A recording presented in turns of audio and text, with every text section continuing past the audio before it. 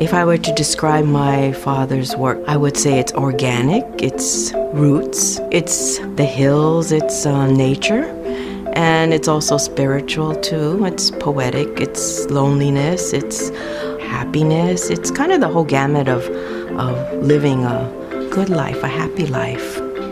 Has nothing to do with inspiration. If you wait for the divine inspiration, gonna be once a week probably. If you're gonna get there. No, you have to psych yourself. You have to dare yourself. You have to do things that, see, a normal person will draw to the right, then you draw to the left.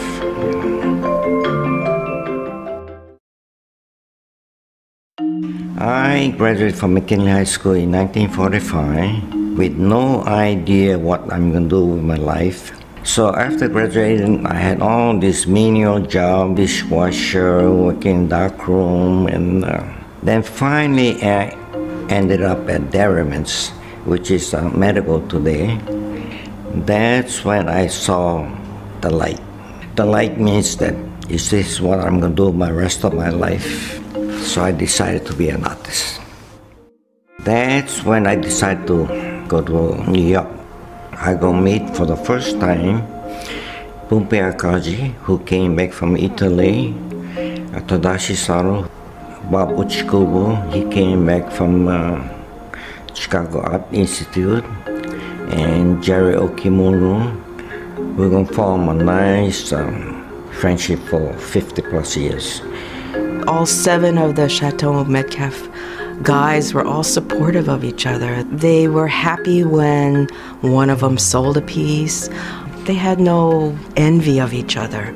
And it was just really hard times, but nonetheless, these guys were cranking out art and, and, and believing it and really making a movement with themselves.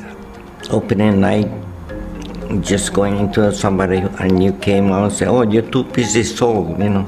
And that's the greatest feeling for the artist going to see a show and it's sold before you know. What I admire in, admire in Satoru Abe's work is his uh, simplicity. Aloha Stadium. Uh, Dad did the piece, I believe, about 25 years ago. It was constructed in Makaha, and he did it lying down. When you walk into it, you know, you walk through it, it's more of an experience than a sculpture, too, you know? First Hawaiian Bank, I think everybody sees that because it, that's at the crossroads of Bishop and uh, South King Street. Well, I like all the detail in his art, especially like the metalwork, how he uses the different acids to kind of give it the different tones. As it has some green, and then he grinds it away so you can see the copper, but then you can see also like the tarnished version too, and all in the same piece. And there are pieces that are in uh, homes that are that people don't get to see, but that are quite beautiful. I can't really fall in love with any one of them because I love all of them. My father continues to make art and it never stops. He he gets up in the morning, has his breakfast, and then he does his art and he eats lunch and then he goes back and does it again. Oh, he's 84 years old. He just made 84 uh, last week. There's no such, such thing as retirement, okay? It's inspiring yet, you know, for, for someone like myself who does art also, it's almost depressing because I can't keep up with it, you know? My son Donovan has been helping uh, my father with his laser engravings. My son adores his grandfather, and uh, it's good for them to bond.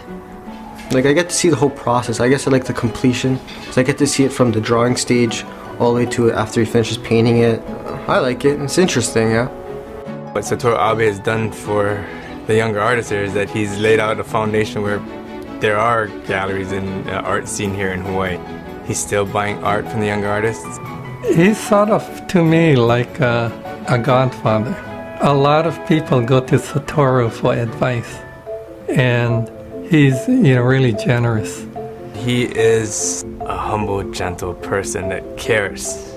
You know, people ask me why I'm so humble, okay? To me, the day I decide to be artist, that's my ego on myself. After that all happened because of someone else, you know. If looking back, all you have to be is young and hungry with a dream. You don't need talent. you know, talent you acquire, right? Repetition creates skill, right? I'm always discovering new things, even now.